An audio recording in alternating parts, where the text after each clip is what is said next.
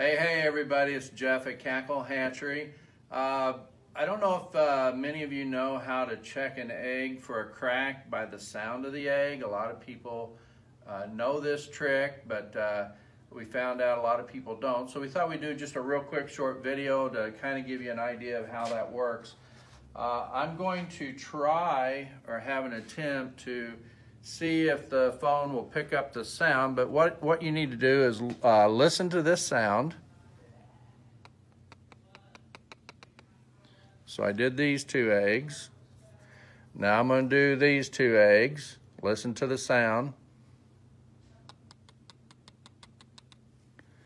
So those are good eggs. Now, I'm going to pick up another egg.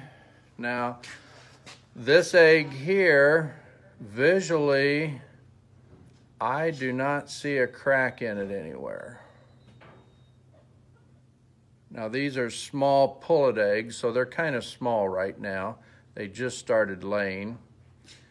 But if you can, listen to the sound here, and you can tell a distinct difference. And one of these eggs is cracked.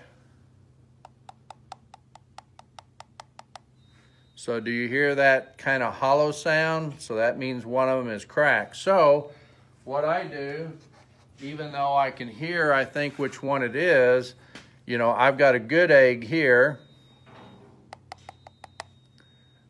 So by doing this, I know I got a good egg here.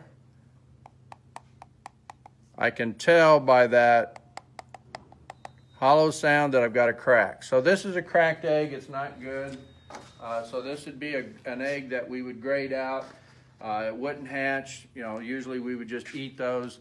Um, you know, you do run the risk of, with cracked eggs, if you're going to be eating them, make sure you cook them well or cook them thoroughly because the natural protective bond on that egg has been cracked. So uh, could possibly have some bacteria in there, so just make sure you cook them well.